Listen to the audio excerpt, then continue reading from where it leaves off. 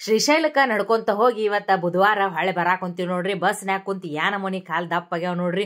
Bus ಅಂಕರು ನೀವು ಕೇಳಾಕ ಹೋಗ್ಬೇಡ್ರಿ. ಆ ನಮೂನಿ ಗದ್ಲಿದ್ದು ಅಂತ ಗದ್ದಲ್ದಾಗ ನಿಂತ್ಕೊಂತ ಕುಂತ್ಕೊಂತ ಮನಿಗೆ ಬಂದ ಮೆಟ್ಟಿಗೆ ಹತ್ತೂರಾಗ ಮೂರುವರೆ ನಾಕ್ ಆಗಿತ್ತು ನೋಡ್ರಿ. ಮನಿ ಅಂಕರು ನೋಡುವಂಗಿದ್ದಿಲ್ಲ. ಮೊದ್ಲೇಕ ಸ್ವಚ್ಛಗ ಕಸ ಹೊಡೆದು ಜಳಕ ಮಾಡಿ ಪೂಜೆ ಮಾಡಿ ಇಲ್ಲೇ ನನ್ನ ಮಗಳಿಗೆ ತರಿಸಿದಂತಹ ಡ್ರೆಸ್ಸನ್ನ ಚಂದಗ ಮಡಿಚಿ ಬ್ಯಾಗ್ನಾಗ ಇಟ್ಕೊಂಡು ನಾನು ನಮ್ಮ ಗೌಡ್ರು ಕೂಡಿ ಮತ್ತ ಹೊಳ್ಳೆ ಬದಾಮಿಗೊಂಟಿವಿ ನೋಡ್ರಿ.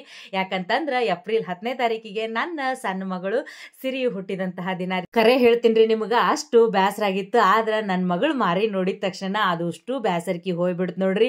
ಮತ್ತ ಹಂಗ ಹೋಗಿ ಒಂದು ಕೇಕ್ ತಗೊಂಬಂದು ಮನಿ ಒಳಗನ ಸಣ್ಣದಾಗಿ ಈ ರೀತಿ ಕೇಕ್ ಕಟ್ ಮಾಡಿ ಬರ್ತಡೇನ ಸೆಲೆಬ್ರೇಟ್ ಮಾಡಿದ್ವಿ ನೋಡ್ರಿ.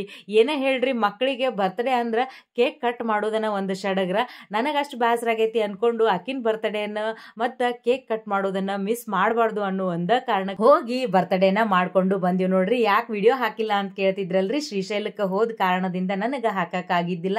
ಆದಷ್ಟು ಬೇಗ ಶ್ರೀಶೈಲದ ವಿಡಿಯೋ ಕೂಡ ಎಡಿಟ್ ಮಾಡಿ ಹಾಕಕ್ಕೆ ಪ್ರಯತ್ನ ಪಡ್ತೀನಿ ರೀ. ಮುಂದಿನ ವಿಡಿಯೋದಾಗ ಮತ್ತೆ ಸಿಗ್ತೀನಂತ್ರಿ.